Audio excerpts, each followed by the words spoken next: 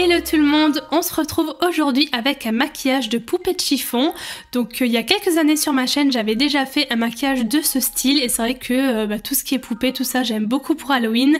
Du coup j'ai eu envie de vous proposer une autre version. Donc on commence par s'attacher les cheveux, j'ai fait des couettes mais euh, vous pouvez aussi faire des tresses, quelque chose qui fasse poupée. Ensuite je prends de la vaseline et j'en mets tout autour de mes cheveux en fait pour éviter que ça accroche par la suite.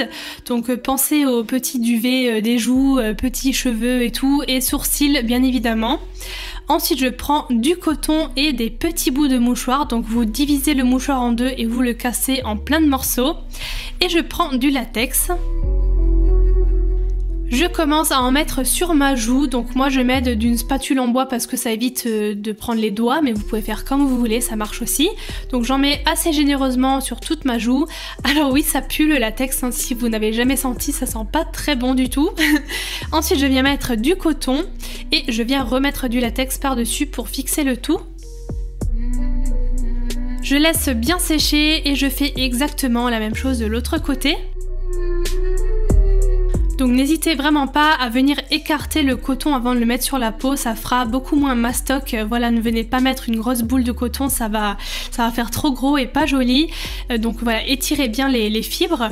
Ensuite, pour le menton, je prends du mouchoir cette fois-ci. Alors ça permet de varier, on va dire, les textures. Euh, bah, de la peau, voilà, de faire euh, comme, euh, du, chiffon vieilli, une poupée de chiffon qui aurait vieilli, euh, voilà, quelque chose d'un peu craquelé comme ça, et le mouchoir permet d'avoir cette texture-là.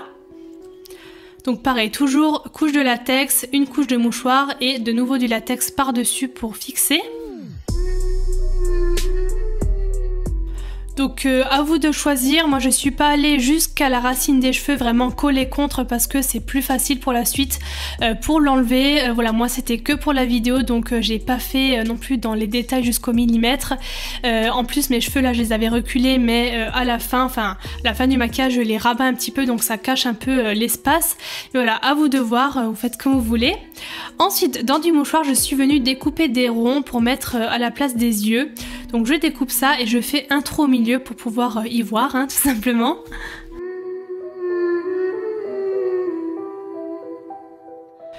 Donc je fais pareil pour le deuxième, hein, logique, et euh, je viens coller le pourtour au latex.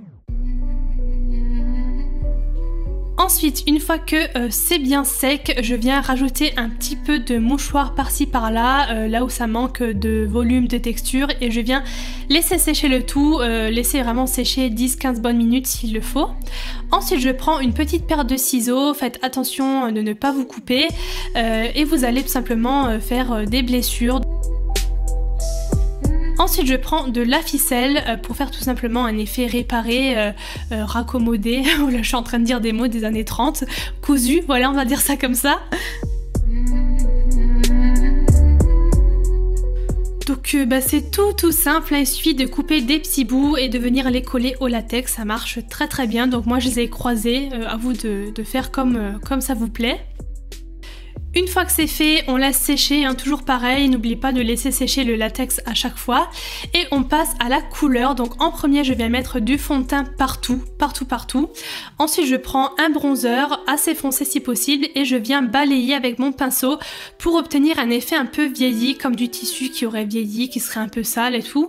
Donc voilà, je balaye avec mon pinceau un peu partout et bien évidemment n'oubliez pas le cou.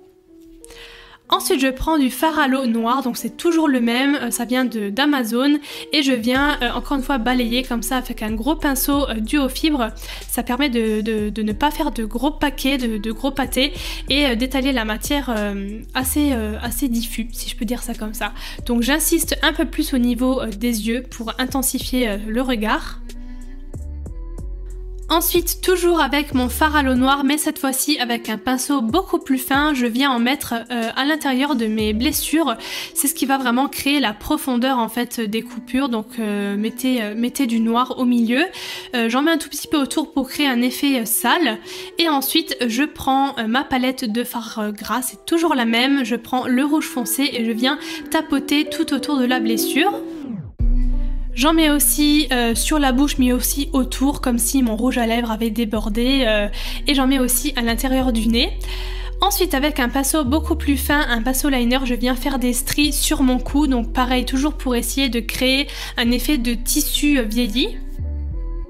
Pour les yeux, je prends des boutons, donc essayez de choisir un modèle assez grand quand même pour voir à travers les trous, hein, parce que euh, j'ai essayé avec un modèle plus petit mais on voyait rien. Euh, du coup, je suis passée au modèle euh, plus grand et c'était beaucoup mieux. On voit à travers, à travers les petits trous du milieu. Donc je mets du latex en haut et je viens les coller.